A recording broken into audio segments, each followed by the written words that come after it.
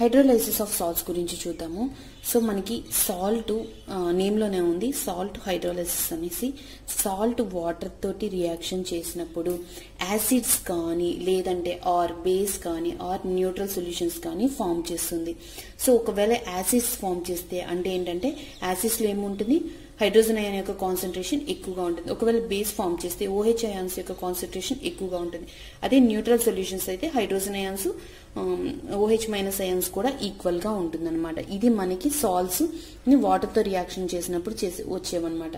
So మనం కొన్ని salts example కింద చూసుకున్నాము తీసుకున్న strong acid and strong base తీసుకున్నాను.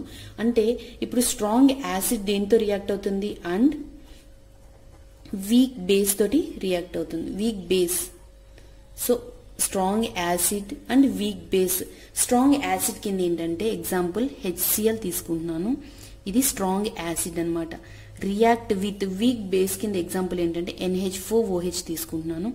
NH four OH so strong acid HCl weak base వచ్చి ఎన్హెచ్ ఫోర్ ఓహెచ్ ఈ రెండు రియాక్షన్ జరిగినప్పుడు మనకి ఏం ఫామ్ అవుతుందంటే NH four plus OH minus అనుకుందాం. మనకి అర్థమవడం కోసం ఇక్కడేమో హెచ్ ప్లస్ సిఎల్ మైనస్ అనుకుందాం. సో ఈ NH four OH and Cl react అయ్యి ఎన్హెచ్ ఫోర్ సిఎల్ని ఫామ్ చేస్తుంది. అట్ ద సేమ్ టైం ఈ హెచ్ ఈ ఓహెచ్ కలిసి వాటర్ ఫామ్ అవుతుంది అనమాట సో మనకి ఇలా strong acid and weak base అంటే యాసిడ్ అండ్ బేస్ రియాక్షన్ జరిగినప్పుడు ఒక సాల్ట్ అండ్ వాటర్ అన్నది ఫామ్ అవుతుంది అనమాట సో మనకి సాల్ట్ అండ్ వాటర్ ఫామ్ అయింది. మనం ఈ రెండింటిని తీసుకొచ్చి ఇక్కడ అలా వేస్తున్నాను. సో దీన్నే మనం ఏంటంటే ఎక్స్ప్లెయిన్ చేస్తూ ఈ నేమ్స్ అన్ని రాస్తూ సో యాసిడ్ బేస్ రియాక్షన్ జరిగి మనకి సాల్ట్ ఫామ్ అయింది. At the same time water కూడా ఫామ్ అయిందని చెప్తాం అనమాట నెక్స్ట్ ఇది ఏమవుతుందంటే అయనైజేషన్ జరుగుతుంది ఎన్హెచ్ ఫోర్ సెకండ్ స్టెప్లో ఎన్హెచ్ ఫోర్ సిఎల్ అయనైజేషన్ జరిగి NH four plus Cl minus form అవుతుంది అనమాట సో అయనైజేషన్లో సెకండ్ స్టెప్లో అండ్ థర్డ్ స్టెప్ ఈ సాల్ట్ ఏదైతే ఉందో ఎన్హెచ్ ఫోర్ ప్లస్ హైడ్రాలసిస్ జరిగి అంటే వాటర్తో రియాక్ట్ జరిగి అయ్యి అంటే మనకు అర్థమవడం కోసం ఇలా రాస్తున్నాను. హెచ్ ప్లస్ ఓహెచ్ మైనస్ అనుకుందాం. సో ఇది plus NH four plus OH minus react అయ్యి మనకి ఏం ఫామ్ అవుతుందంటే ఎన్హెచ్ ఫోర్ ఓహెచ్ ఫామ్ అవుతుంది. ఎన్హెచ్ ఫోర్ ఓహెచ్ ఫామ్ అవుతుంది. At the same time H plus ions generate అవుతాయి. మనకి హైడ్రోజన్ అయాన్ కాన్సన్ట్రేషన్ ఎక్కువగా ఉంటే ఆ సొల్యూషన్స్ని యాసిడ్ అంటారు. సో కాబట్టి ఈ సింపుల్ కంక్లూజన్ ఏంటంటే ఇది యాసిడ్ సొల్యూషన్ అనమాట ఓన్లీ వన్ రీజన్ ఏంటంటే ఇక్కడ హెచ్ ప్లస్ అయాన్స్ని ఫామ్ చేసింది. హెచ్ ప్లస్ అయాన్స్ని జనరేట్ చేసింది. కాబట్టి ఇది అసిడిక్ సొల్యూషన్ సింపుల్ మనం ఈ రియాక్షన్స్ని ఎక్స్ప్లెయిన్ చేస్తూ రాస్తాం అనమాట అండ్ నెక్స్ట్ ఏంటి? ఇక్కడ స్ట్రాంగ్ బేస్ ఫస్ట్ తీసుకున్నాం కాబట్టి ఇక్కడ strong base and weak acid so మనకి స్ట్రాంగ్ బేస్ అండ్ వీక్ యాసిడ్ని తీసుకుంటున్నాము. స్ట్రాంగ్ బేస్ కింద NaOH reaction with weak acid ఏంటంటే సిహెచ్ త్రీ సిఓఓ హెచ్ని తీసుకుంటున్నాను. సో ఈ రియాక్షన్ జరిగి యాసిడ్ అండ్ బేస్ రియాక్షన్ జరిగినప్పుడు మనకి సాల్ట్ ఫామ్ అవుతుంది.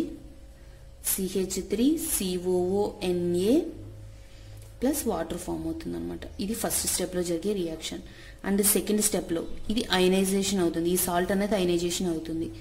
సిహెచ్ త్రీ సిఓఓఎన్ఏ అయనైజేషన్ జరిగినప్పుడు ఏమవుతుంది?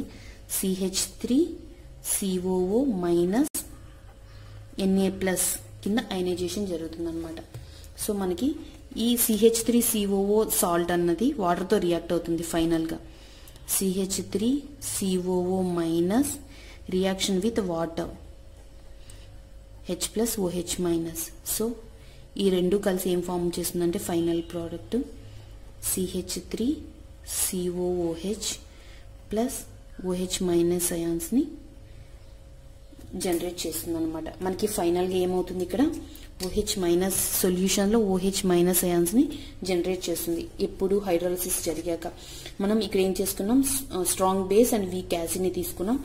ఈ రియాక్షన్స్ అన్ని ఫస్ట్ స్టెప్లో మనం యాసిడ్ యాసిడ్ బేస్ రెండు రియాక్ట్ అయ్యి సాల్ట్ అండ్ వాటర్ ఫామ్ అయింది.